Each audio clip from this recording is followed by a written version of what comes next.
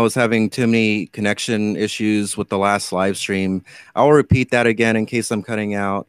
I was having way too many connection issues with the uh, the previous thing. Those uh, uh I was getting you know the notification thing. Those uh, uh I was getting you know the notification that, that I was my connection was weak, and I'm sure I was dropping out, dropping frames, and cutting out words.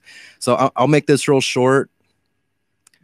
If I get enough consistent keyword consistent donations i will upgrade the internet connection here to something that can actually handle live streams during the day without connection and buffering issues. And i will be doing videos day and night 24 7 what do you guys think of that?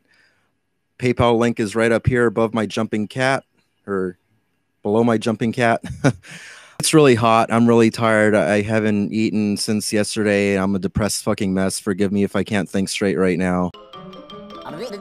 That's all, folks.